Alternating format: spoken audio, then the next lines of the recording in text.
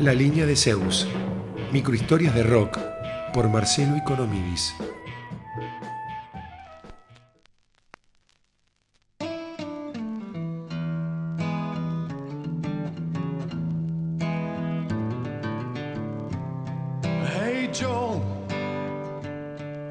La popular canción Hey Joe. tiene una larga historia de disputa en su autoría.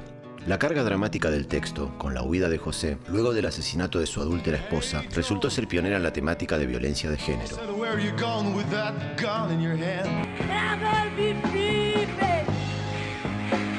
Existen algunas versiones que escapan al cover. Patti Smith. Modeló un revulsivo monólogo acerca de la fugitiva Patty Hearst. y su relación con el ejército simbiótico de liberación.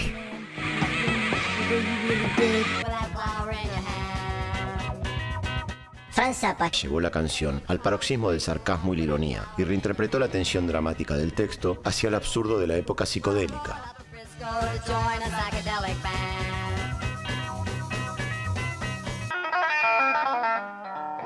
Pero quien llevó la canción al más alto escalón de popularidad fue el guitarrista afro-norteamericano. Jimi Hendrix. Se grabó un domingo 23 de octubre de 1966 en Lane Lee Studios. de Londres.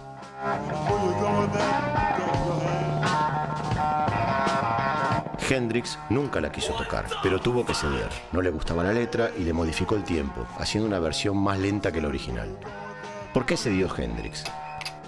Las amenazas del manager Chas Chandler. llegaron a límites insospechados, ya que vio en la canción potencial comercial. Chandler trató de cancelar el pasaje de regreso a Nueva York, pero ¿es cierto que lo amenazó con un arma? ¿Que quiso quitarle las drogas? ¿Hubo escena de pugilato entre ambos?